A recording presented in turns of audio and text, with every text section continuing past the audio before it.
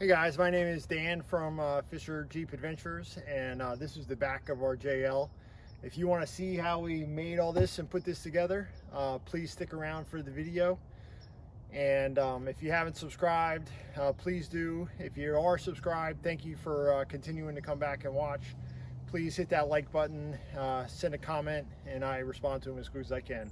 So if this is something you're interested in, the JL's new um, camp kitchen, uh, please stick around for the video.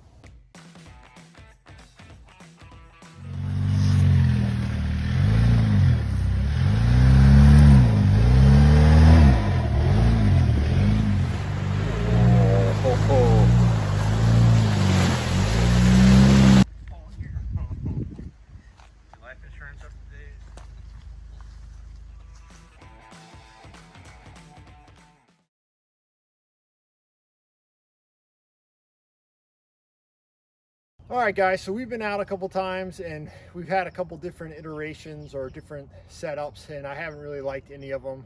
So I came up in my head with a drawer system and um, so we ripped everything out and we went right back to the basic uh, back of the JL um, and I straight to the floor and what I ended up doing was I ended up making a base out of 2 by 4s that the platform sits on um, the reason for that is because I still want to have access to the drawer that's made into the floor system to store stuff that I don't get to a lot.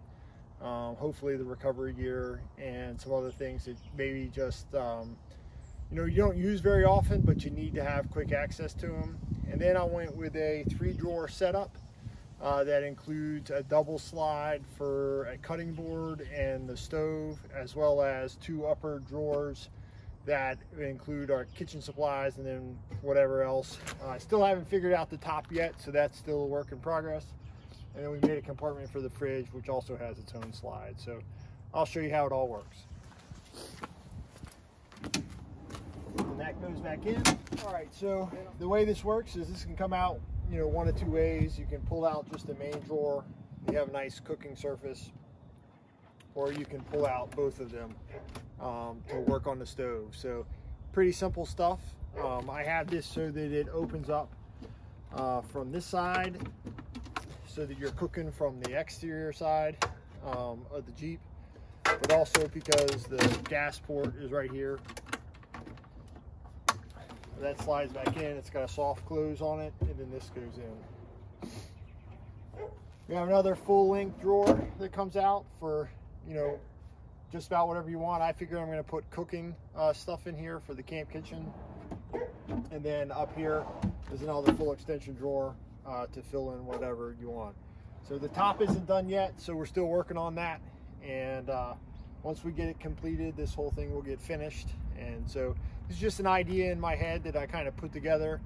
Um, because goose gear stuff it's like 16 1700 dollars uh, and this cost me 200 bucks so hope you liked the video. Uh, it's a pretty neat design. I think it's going to be functional for us. If you haven't subscribed please subscribe. Leave me a comment uh, and we'll talk to you later. This is Fischer Jeep Adventures and we'll see you on the trail